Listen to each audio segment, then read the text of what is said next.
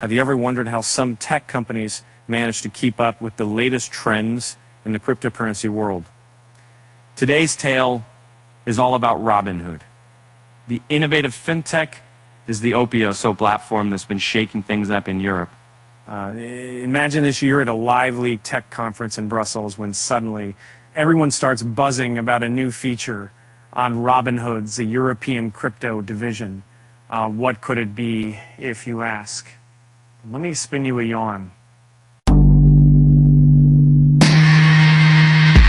Uh, paragraph one. Uh, intrigued by the excitement, Robinhood announced the launch of Solana staking for their European clients.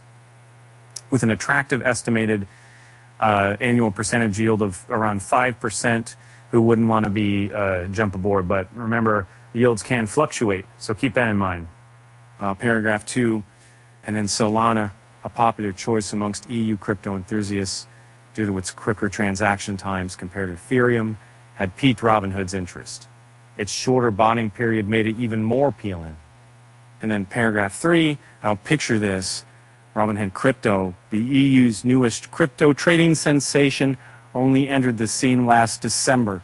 It listed an impressive roster of 33 tokens, including fan favorites like Bitcoin and Ethereum, uh, Paragon 4. And um, but here's where the plot thickens. Back in the states, Robinhood's U.S. branch had parted ways with Solana following allegations from the Securities and Exchange Commission. They claimed that Solana was an unregistered security. Oopsie daisy! Uh, paragraph 5. Uh, to add another layer of intrigue, Robinhood Crypto received a Wells notice from the SEC concerning their token listings.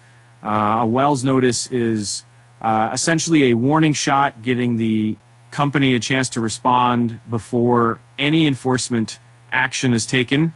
Uh, and now, for a little levity, why did the Solana developer go broke?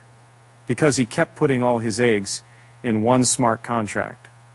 With that said, thanks for joining me on this wild ride through the world of Robinhood and Solana.